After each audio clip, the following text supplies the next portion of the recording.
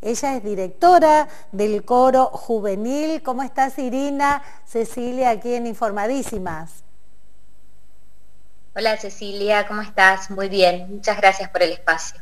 No, por favor. Bueno, Irina, contanos, eh, antes de arrancar cómo, este, cómo están trabajando desde, desde el coro, contanos un poquito quiénes lo integran, desde cuándo está. Bueno, el coro juvenil existe desde el 2013. En realidad, antes, años anteriores, hubo coros juveniles, eh, pero antes del 2013, ya hacía varios años que era un espacio que, no había.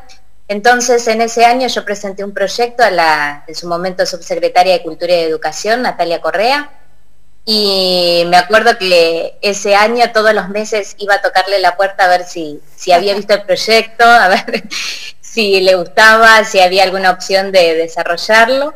Así que finalmente en octubre del 2013 eh, el municipio me dio la oportunidad de volver a crear el espacio del coro juvenil municipal.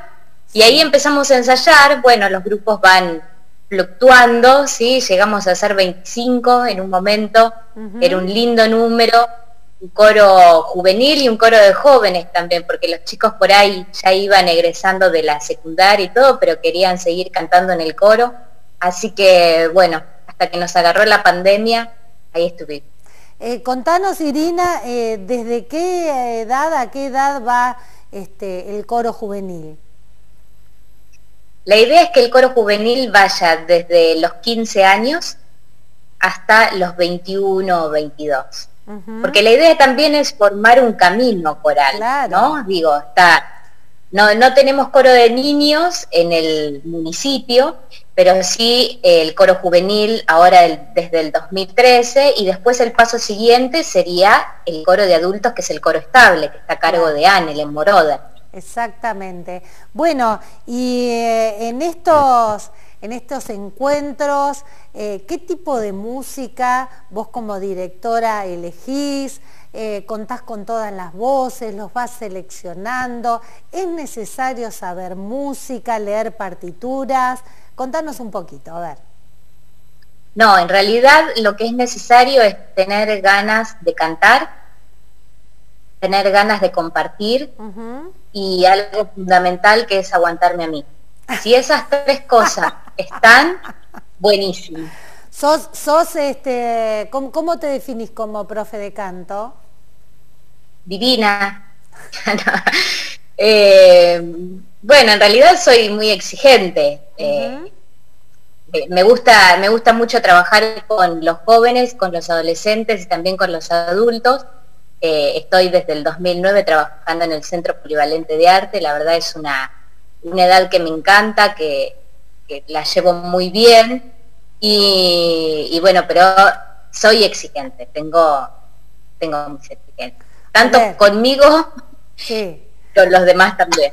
Exigente, uno habla, bueno, hay que vocalizar todos los días, hay que cuidarse de los cambios de temperatura, hay que aprenderse la partitura a la hora del encuentro. ¿En todas esas cosas estás en la exigencia?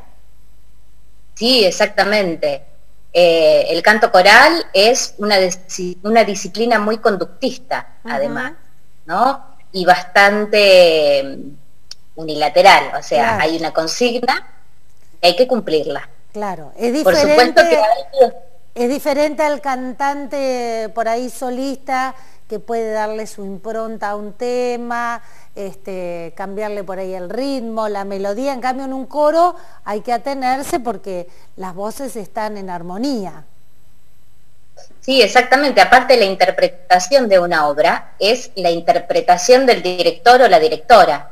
O sea, no es la interpretación de cada uno el conjunto hace una interpretación de la obra que es del director o la directora. ¿Y mm, qué obras te gusta? ¿Qué tipo de música te gusta para interpretar con los chicos?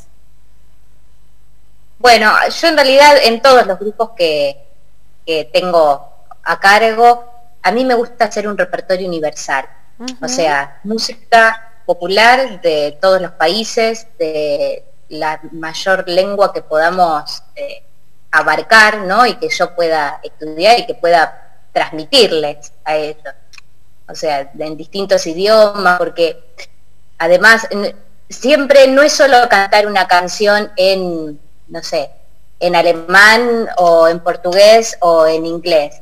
Siempre hay una historia atrás de esa canción, siempre hay un aprendizaje, siempre hay un viaje a un territorio que uno hace y descubre diferentes culturas, diferentes maneras de vivir, bueno, diferentes lenguas, diferentes poesías y diferentes cosmovisiones que tiene cada uno de esos territorios.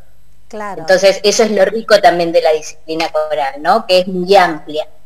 Y aprender, bueno, si el idioma no se sabe, aprender por fonética bien realizada, ¿verdad? exactamente. Nosotros en la, todas las carreras de dirección coral tienen en sus cuatro años el aprendizaje de distintas dicciones. Vos aprendés a leer y a escribir el idioma, pero no sabés qué decís en realidad. Después tendrás que buscar, es, es otro proceso.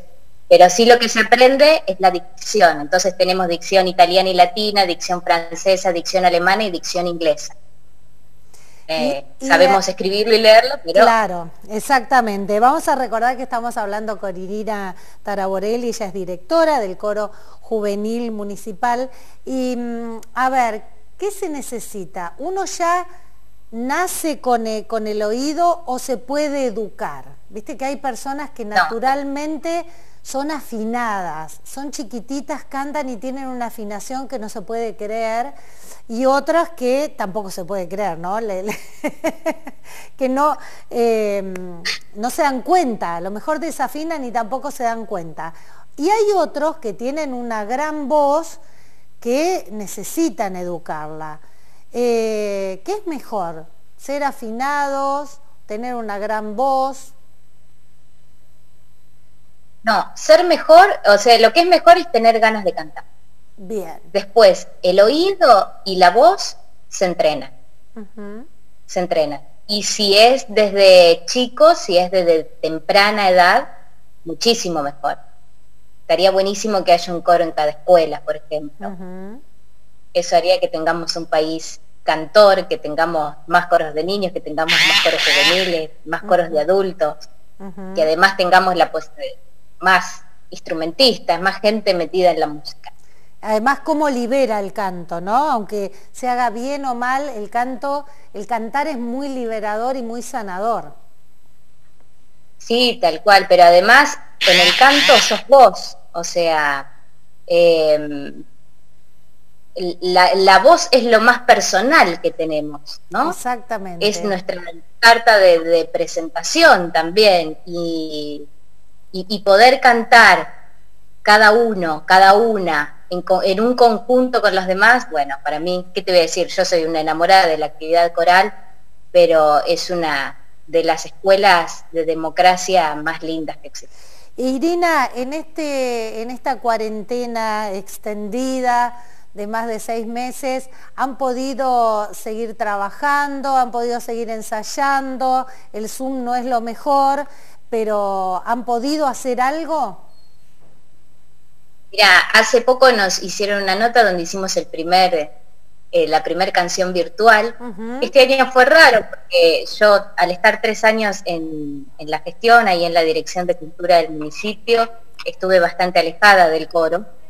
Eh, porque bueno, el, cargo político te, absorbe totalmente. Sin duda. Pero bueno, ahora volviendo eh, de vuelta al ruedo, hubo, se dio una situación bastante particular, es que en principio no pudimos hacer ningún ensayo presencial, porque en el tiempo que, que nada, que podríamos haber ensayado era la convocatoria, ¿no? Que se vayan anotando, que vayan viendo de acomodando los horarios y todo. Y después se cerró. El, se agarró el aislamiento y chao.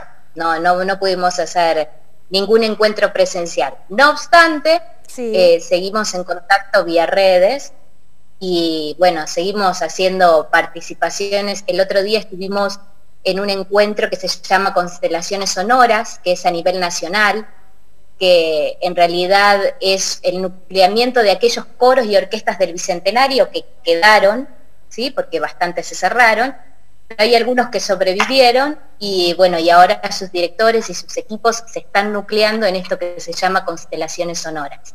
Tuvimos un encuentro donde los chicos por Zoom aprendieron una obra y después un encuentro para los directores para seguir formándonos. Así que ahora estamos en eso, estamos tratando de grabar las voces para hacer, para ser parte en realidad de un coro juvenil, virtual, pero a nivel nacional.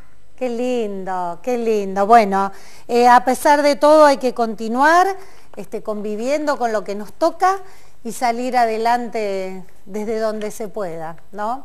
Pero bueno, que, todo el mundo cante, que los chicos canten, que los niños, que los adultos, que todos cantemos, porque hace bien.